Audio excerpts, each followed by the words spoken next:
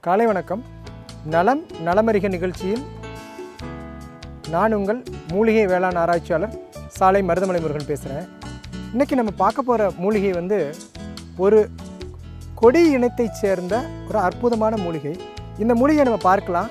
இந்த மூலிகையை பார்க்கும்போதே என்ன செய்யுது? மனிதனுடைய மூட்டுக்கள் ஒன்றொன்று சேர்ந்து இருக்கிறது மாதிரியான ஒரு அமைப்பில் இருக்குது. இந்த பிரண்டையை பார்க்கும்போதே அந்த பிரண்டை வந்து நிறைய புதர்கள்லையும் தானாக வேலிகள்லையும் இருக்கும்போது இதை பார்த்த உடனே வந்து மனிதனுடைய மூட்டுக்கள் ஒன்றொன்னா கணுக்கணுவாக இருக்க மாதிரி இருக்கு.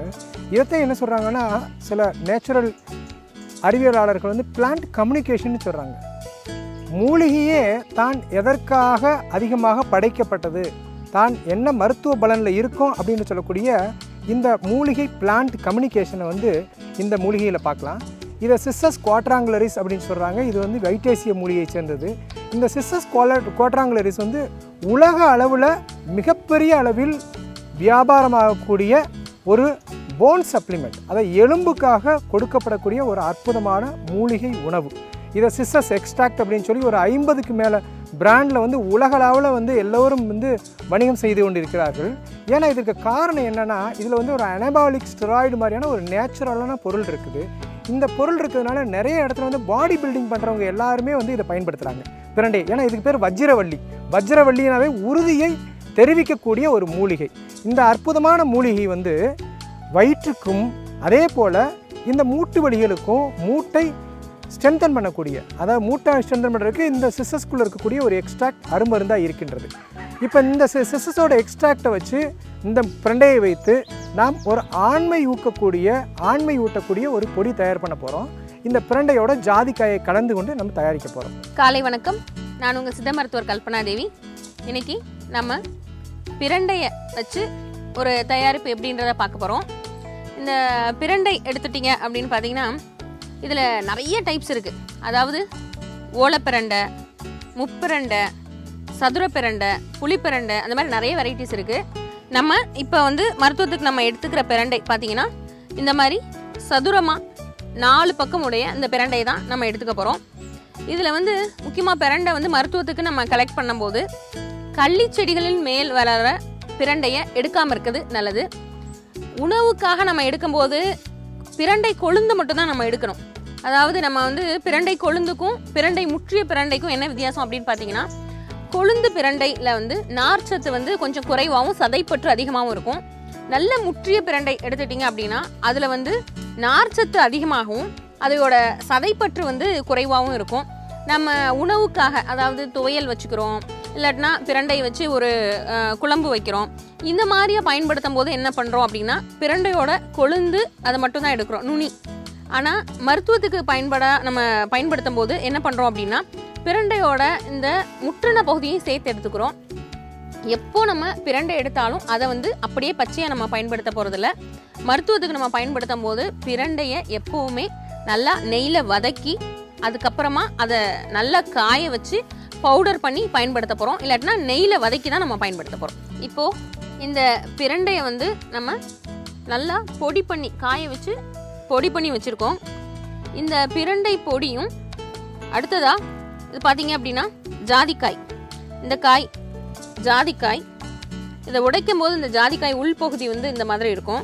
இந்த ஜாதிக்காயும் நம்ம நல்லா பவுடர் பண்ணி வச்சுருக்கோம். இந்த ரெண்டையும் சேர்த்து கலந்த ஒரு கலவை தான் நம்ம இன்னைக்கு தயாரிக்க போகிறோம் இப்போ பிரண்டை பொடி எடுத்துக்கிறோம். மூணு ஸ்பூன் அளவுக்கு பிரண்டை பொடி எடுத்துக்கிறோம். அடுத்ததா ஜாதிக்காய் பொடி. இதுவும் அதே அளவு மூணு ஸ்பூன் அளவுக்கு எடுத்துக்கிறோம். இந்த ஜாதிக்காயோட பயன்பாடு என்ன அப்படின்னு பார்த்தீங்கன்னா இது நேரடியாக ஆண்மை பெருக்கி தன்மை உடையது. ஜாதிக்காயை குழந்தைகளுக்கு கொஞ்சமாக இழைத்து அதாவது ஒரு கல்லை இந்த ஜாதிக்காய் எடுத்து லேசாக ஒரு உரசு உரசி அந்த உரசி வர்ற கொஞ்சோண்டு விஷ இதை வந்து அப்படியே எடுத்து நாக்களை தடவி தாய்ப்பால் குடிக்கிற குழந்தைங்களுக்கு அப்படியே பால் கொடுத்துடலாம். இதன் மூலமாக அந்த குழந்தைங்க வந்து பசி அதிகம் இல்லை அப்படின்னாலும் அவங்களுக்கு சரியாகும். மேலும் வந்து அந்த குழந்தைங்க வந்து நல்லா தூங்குவாங்க. அதாவது குழந்தைங்க வந்து வயிற்று வலியில் வந்து சினிங்கி அழுதுகிட்டே இருக்காங்க அப்படின்னா அவங்களுக்கு வந்து இந்த ஜாதிக்காயை உரசி கொடுக்குற பழக்கம் இருக்குது இந்த ஜாதிக்காயை ரொம்ப அதிகம் பயன்படுத்தக்கூடாது. ஏன்னா சிறிய அளவில் பயன்படுத்தும் போது இது நல்ல பசியை தூண்டக்கூடிய தன்மை உடையது நரம்புகளை பலமாக்கக்கூடிய தன்மை உடையது.